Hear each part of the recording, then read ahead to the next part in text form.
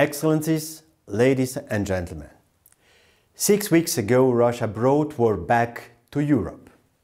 With it, it brought inconceivable human suffering to the Ukrainian people. The displacement crisis we are now facing is unprecedented in recent European history.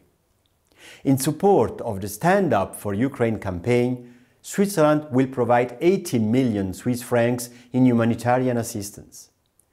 This support will go to the people affected by the conflict, in particular to the displaced population in Ukraine and in the region.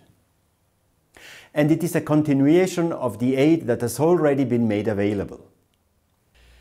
Switzerland's humanitarian support to Ukraine was swift and efficient.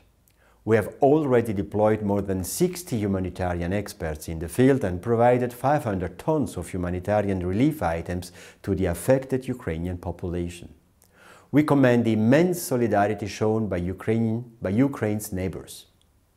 We stay ready to further support them according to their needs and in close collaboration with the EU. We call on the international community to respond to the needs of displaced people in a way that is consistent with international law. In Switzerland, we have activated an unprecedented special status for people fleeing the war in Ukraine.